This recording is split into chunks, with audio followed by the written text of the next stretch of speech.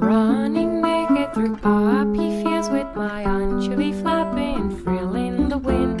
Then I see Father O'Reilly, and I confess, yes, I have sinned. And Father O'Reilly, he spoke to me slyly and winked at the nun sitting there on his knee. A church, it included a demanded a pizza with chocolate and cheese. The nun, in a frenzy, she swatted the puppet and prayed to the God of my proud anchovy. The taste of the pizza, it seemed to increase, but Father O'Reilly broke up from the way. The taste of the pizza, it seemed to increase, but Father O'Reilly broke up with Tom Waits. The taste of the pizza, it seemed to increase, but Father O'Reilly broke up with Tom Waits.